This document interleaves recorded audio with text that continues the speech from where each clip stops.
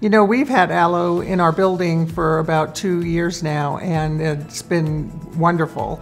It's been a wonderful experience. Working with the staff has been wonderful. They've been real respectful of, of everything that we do on a daily basis. And we have so many different aspects going on at one time. With mm-hmm. we've got three different programs going on. Um, so interviews, so those have to be recorded. The Zoom meetings themselves and the phone mm-hmm. calls coming in. It's vital for us to be able to be successful with that. Now has been great for us.